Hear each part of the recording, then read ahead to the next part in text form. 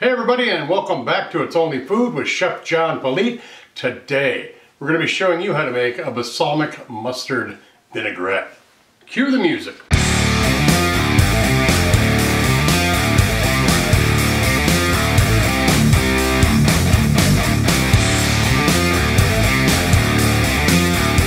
Alright, well welcome back to It's Only Food. Thanks a lot for watching. I appreciate you being here from whatever platform you're joining us on go ahead and like, subscribe, leave a comment down below, and make sure you share this video with everybody you know. Like I said, we're going to be making a balsamic mustard vinaigrette. Let's drop down here and see what our ingredients are. We have got two tablespoons of balsamic vinegar, four teaspoons of Dijon mustard, one tablespoon of finely minced shallot, one teaspoon of mayo, one teaspoon of thyme, quarter teaspoon of salt, and quarter teaspoon of pepper, and six tablespoons of olive oil. Let's start mixing it up. All right, you want to get yourself a big enough bowl. This makes a quarter of a cup. So first thing you want to do is add all the ingredients except for the olive oil. So we're just going to put our Dijon right in, our mayonnaise right in, thyme, salt and pepper, and the shallots. I'm just going to mix these up with the spatula before we add our balsamic. We want to whisk all that together, get that emulsification starting, then we're going to add our olive oil. We're just going to drizzle this in slowly.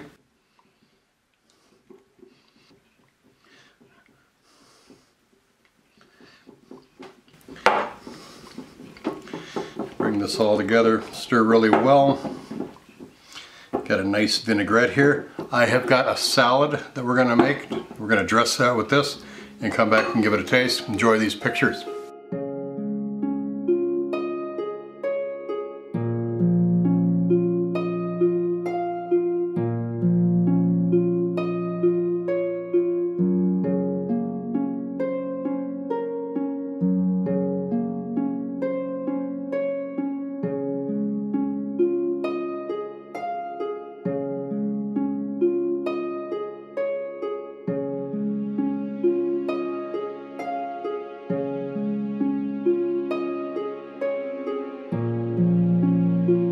All right, dress, beautiful, beautiful uh, pictures there. Look at the, our dressing. Very, very good. Smells fantastic. You can smell that mustard and that balsamic vinegar. Very strong, very strong. I dressed the salad a little bit for the pictures, but we can go ahead and mix this up. You want to make sure you're using uh, a kind of a mellow salad dressing or I'm sorry, mellow lettuce. Kind of like I use Bibb here for it because it's kind of a gentle leaf and it brings out the flavor of our dressing a little more. If you use more assertive um, like chicory or endive, things like that, it's got a stronger taste to it and you won't taste the vinaigrette as much. You also want to make sure that you're using a very delicate leaf for that and save your your heavier dressings for like iceberg or green leaf or romaine. They, they hold up better. This is like a very tender leaf lettuce that we're using and it makes the, the uh, vinaigrette stand out a little bit better. There's a picture of that right there. Let's give it a taste.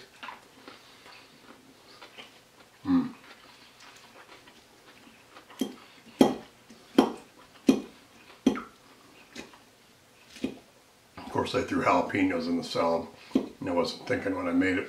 Kind of throws off the whole balance of the thing. So I'm not going to eat those. I'll eat them off camera later. But another view of that. It just clings so nice to the, less, the lettuce. I don't know if you can see that here. Just shimmering in the light. You can see that everywhere. But very good dressing.